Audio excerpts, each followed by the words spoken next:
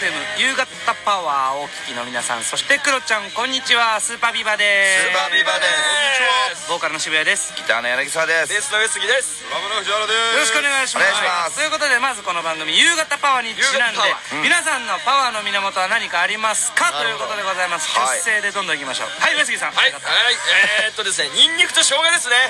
そういうのいっぱい食べると元気になる気がしますね。生姜はめっちゃあのね俺もめっちゃわかる。めっちゃわかる。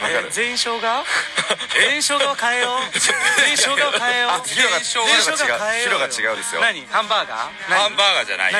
お風呂だよちょっと待ってあそうかそうか。うんこれはするとだもんね。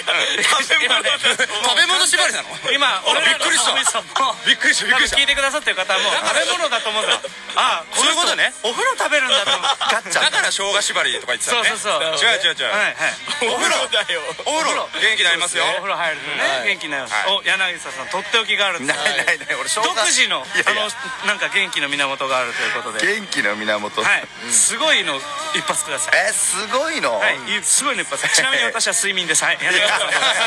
どうぞ柳沢さん。元気の源はねパワーの源はねやっぱね笑うことじゃないですか。はい、ありがとうござい。ます。我々スーパーイワーでございますけども、明日ですね、もう明日だ、えー、11月の21日、えーいよいよだ。スーパービーバーの新しいシングル「予感」がリリースとなります。ありがとうございます。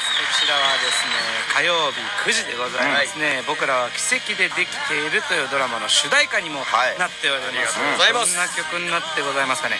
この曲はですね、まああの予感っていうこの言葉がうん。示すように何かこう始まりそうなはい。雰囲気とか、なんかやっぱこうワクワクする方に進んでいきたいなっていう、そういったまあ気持ち思いがこもった楽曲なんですけど、実際にこのサウンドもはいはい。非常にこう楽しいというか、ライブでめっちゃあの楽しめる一曲になってんじゃないかなっていうのは思いますね、はい。でまあさらにあの「真心」という楽曲も一緒に収録されてて、まあ、こちらもまたちょっとタイプの違う結構こうグッと聴き込めるような一曲が入ってますので、はい。まあ、2曲合わせてぜひシングル「予感」楽しんでいただけたら嬉しいなと思います、はい、もうなんだかんだ14年目になりますけども、うん。我々活動がこの2曲聴いていただけると、我々スーパーエヴァの今の状態だったりとか、何を考えて何を風にどんな風に歌ってるのかみたいなことが、えー一発で分かるような詰まってます。シングルになってます。よろしくお願いします。お願いします。ということで今後の予定も発表させていただきたいと思います、来年3月からホールライブハウスツアーがスタートします。